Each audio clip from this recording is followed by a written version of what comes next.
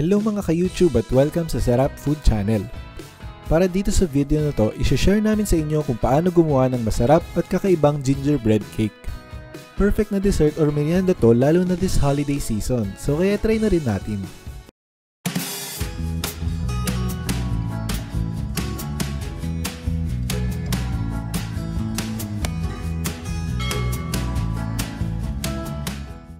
Ihanda at sukatin lang natin yung mga susunod na mga ingredients. 2 cups ng flour, 3-4 cups ng brown sugar, 2 eggs,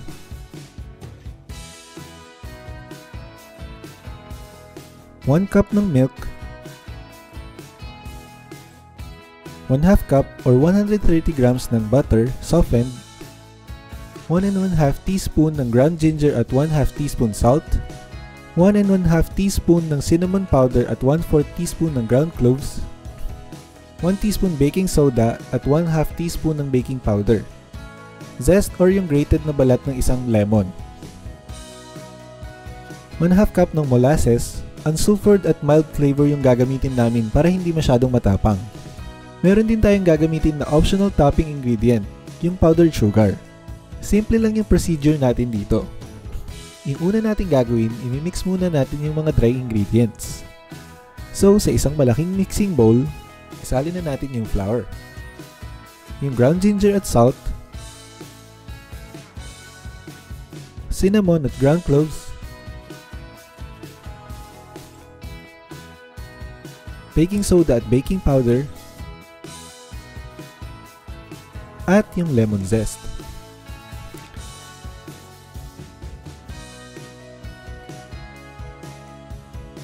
Then i-mix na natin sila.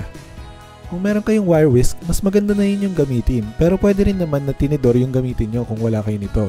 Siguraduhin lang natin na ma-mix lahat evenly.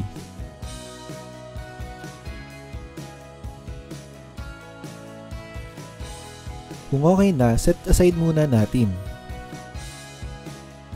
Next naman yung wet ingredients natin. So kumuha lang ulit tayo ng large mixing bowl. Start muna tayo sa butter. Durugin muna natin to para madali natin ma-mix. Mas maganda actually kung meron tayong hand mixer pero okay lang din naman kahit wala. Medyo may exercise lang ng konti yung mga braso natin. Next, ihalo na natin sa butter yung brown sugar. I-mix lang natin sila together hanggang maging parang paste yung texture.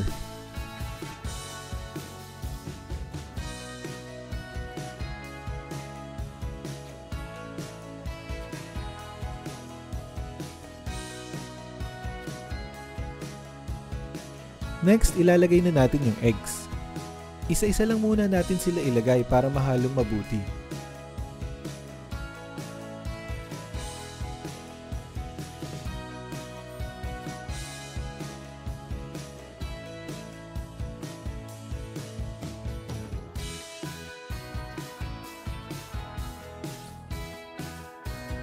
After nito, yung molasses naman yung idadagdag natin.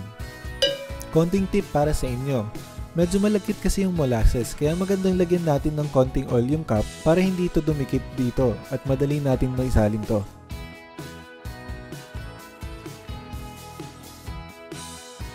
Then i-mix lang natin to ng mabuti.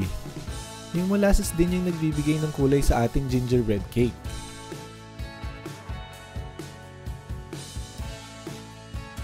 Pagkatapos natin sa wet ingredients, ito naman yung gagawin natin. Kunin natin yung dry ingredients pati yung gatas. Tapos, alternate natin to sa salin para mas madali i-mix at para sure din na evenly incorporated to. One third muna ng dry ingredients, tapos i-mix.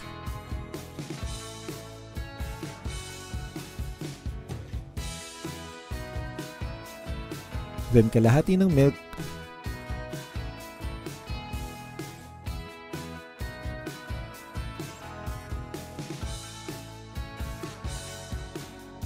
Tapos 1 third ulit ng dry ingredients.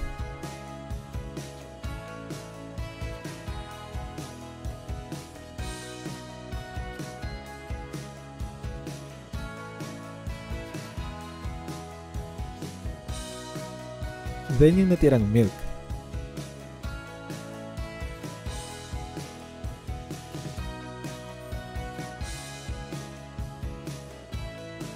And lastly, yung natirang dry ingredients. Haluin lang natin na mabuti tapos ready na yung cake batter natin.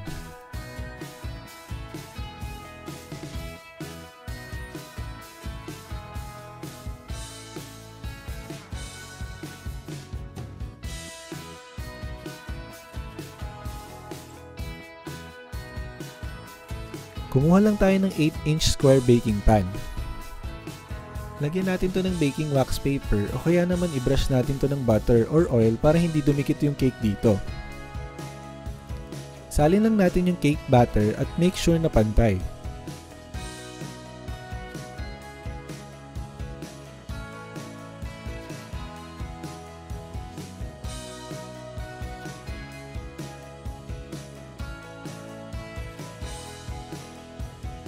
Next, baking time na.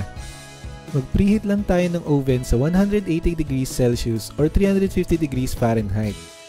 I-bake natin to ng mga 25 to 30 minutes.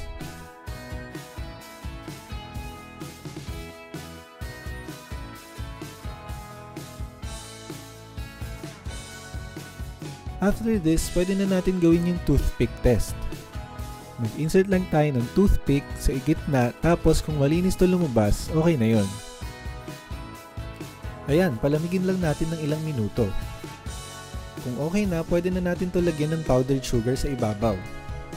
Maganda na gumamit tayo ng strainer o kaya ng sifter para mas paganda yung itsura. So ito, okay na yung tinatawag nating gingerbread cake. Kayang-kaya naman, di ba? Mamaya may taste test ulit tayo tapos magsha-share na rin kami ng costing. Para naman kung gusto nyong gawin tong gingerbread cake na pang negosyo. Pero syempre, bago lahat ng yon, don't forget to subscribe to our channel. I-click nyo na rin yung bell button para palagi kayong updated sa mga bagong videos namin. So ito na para sa taste test. Oh, maganda yung texture, tapos chewy at maganda rin yung pagka-crust niya. Tama-tama lang yung tamis. Lasang lasa din yung flavors ng mga spices, tama lang yung balanse. Kung gusto niyo na mas matapang yung spices like yung ginger, pwede naman nadagdagan niyo pa to. O dali na, try niyo na rin to gawin guys. Para sa costing, yung total na gastos ng equivalent portions ng ingredients nasa 140 pesos. Tandaan nyo lang na hindi pa namin sinama dito yung cost ng packaging, cost ng kuryente, or cost ng LPG na gagamitin sa pag-bake. Nag-round up din tayo sa 1 peso para sa mga ingredients na hindi naman umabot sa isang piso yung cost. Yung isang cake nito pwede natin mabenta sa 250 to 280 pesos. Perfect na pangregalo yan, especially sa Christmas. Pwede pa rin mabago yung cost at pricing natin, depende dun sa mabibili natin ng mga ingredients. Yun lang po, maraming maraming salamat sa panonood. Don't forget to like this video and comment down below what you think. Abangan yung mga susunod pa namin na videos dito lang sa Sarap Food Channel.